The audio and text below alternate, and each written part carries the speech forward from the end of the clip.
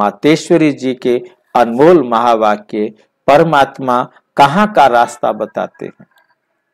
मातेश्वरी जी की मुरली है, क्लास है, परमात्मा कहाँ का रास्ता बताते हैं?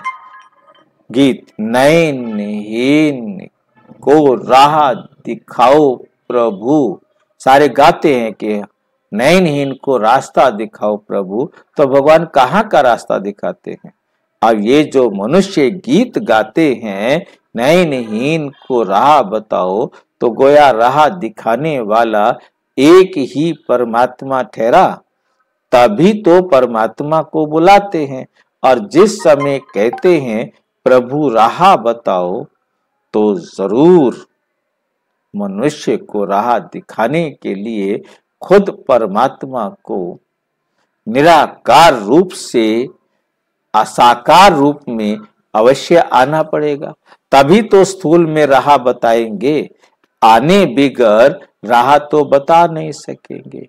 अब मनुष्य जो रहा जो मनु, अब मनुष्य जो मूंझे हुए हैं उन मूझे हुओं को राह चाहिए। इसलिए परमात्मा को कहते हैं नैन हीन को राह बताओ प्रभु। इसको ही फिर खिवैया भी कहा जाता है कि हमारी नैया को पार ले जाते हैं। जो उस पार अथवा इन पाँच तत्वों की जो बनी हुई सृष्टि है, उससे पार कर, उस पार अर्थात पाँच तत्व से पार जो छठा महातत्व परम धाम है, वहाँ ले जाते छठा तत्व अखंड ज्योति महातत्व है। उसमें ले चलेगा। तो परमात्मा भी जब उस पार से इस पार आवे, तब तो ले जाए। पहले तो वो उस पार से इस पार आवे, यहाँ आकर के हमें पढ़ावे, हमें तब साथ ले जाएगा ना। तो परम आत्मा को भी अपने धाम से आना पड़ता है। तभी तो परमात्मा को खिवैया कहते हैं।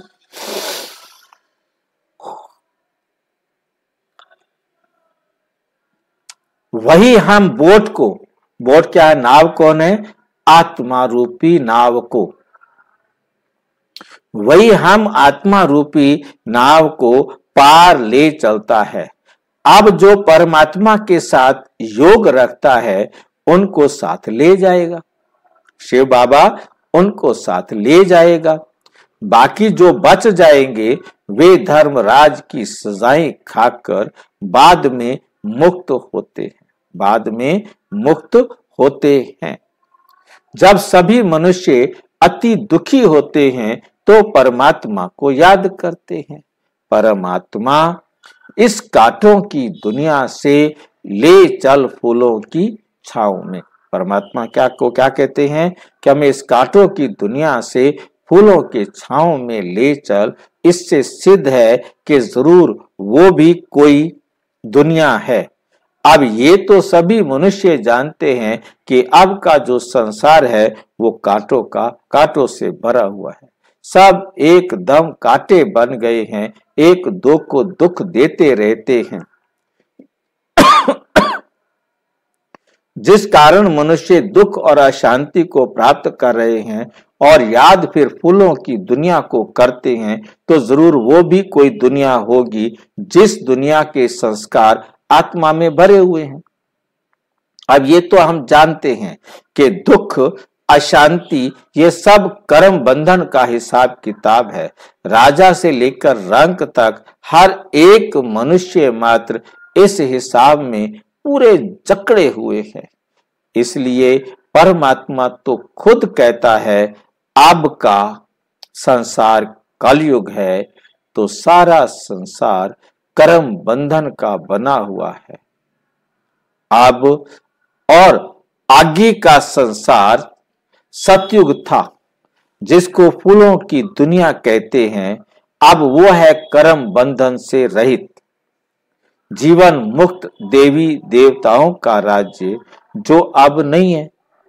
अब ये जो हम जीवन मुक्त कहते हैं तो इसका मतलब ये नहीं कि हम कोई देश से मुक्त थे।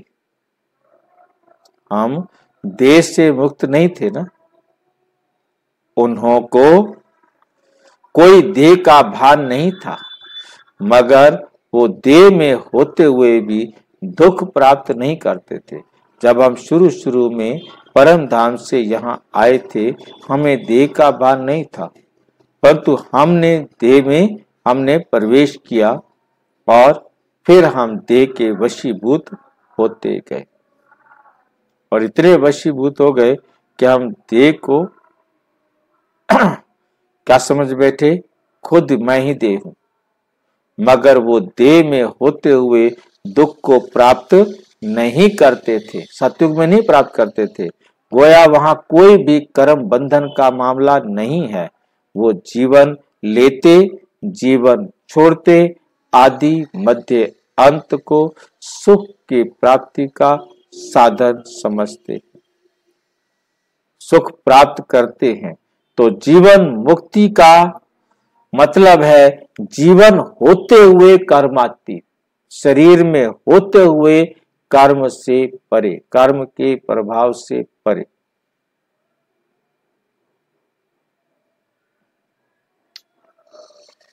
अब ये सारी दुनिया पाँच विकारों में पूरी जकड़ी हुई है। मानो पाँच विकारों का पूरा वास है, परंतु मनुष्य में इतनी ताकत नहीं है जो इन पाँच भूतों को जीत सके, तभी परमात्मा खुद आकर हमें पाँच भूतों से छुड़ाते हैं। और विश्व प्रालब्ध देवी देवता पद प्राप्त कराते हैं। अच्छा ओम शांति।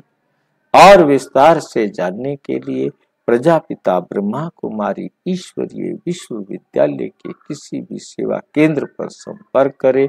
और यदि कोई प्रश्न है तो nine two one three one zero six nine eight six पर केवल टेलीग्राम करें। Nine six five zero six nine double two seven zero पर केवल व्हाट्सएप करें। फ़ोन नहीं। ओम। ओम